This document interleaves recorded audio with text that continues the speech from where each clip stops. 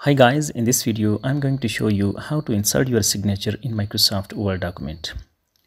Let me open my mobile and here I have Keep My Notes application. Click on handwriting and here you can draw your signature with your fingers of whatever stroke you want.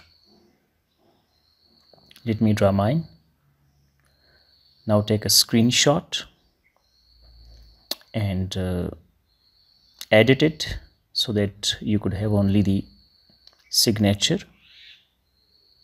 Now you can save it in your mobile with some name. For example i have saved it with signature. Now you can transfer it to your pc and save it on your laptop. Go to insert pictures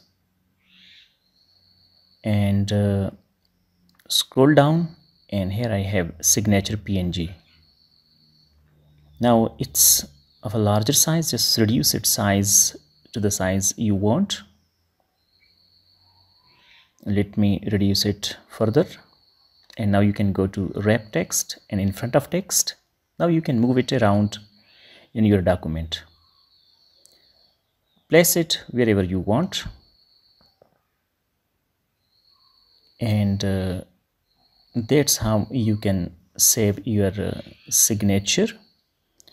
And uh, in order to use it again and again you can just select it. Now go to insert quick parts and uh, in the quick parts you can save it to the auto text gallery. Just name it I'm gonna name it my signature okay? And uh, next time you just need to go to quick parts.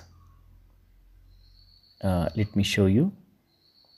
Go to quick parts auto text and here you can see your signature. Let me show you how this can be inserted. Just place your cursor wherever you want this text you want your signature. Click and here we go it can be saved. It can be inserted in this way.